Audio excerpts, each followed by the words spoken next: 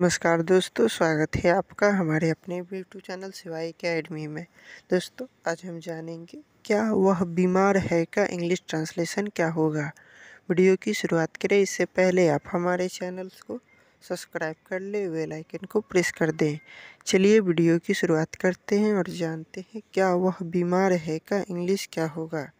इसका जवाब होगा, इज़ ही इल आज के वीडियो में इतना ही। वीडियो आपको अच्छा लगा तो लाइक और शेयर करें तथा अपना फीडबैक कमेंट में ज़रूर दें।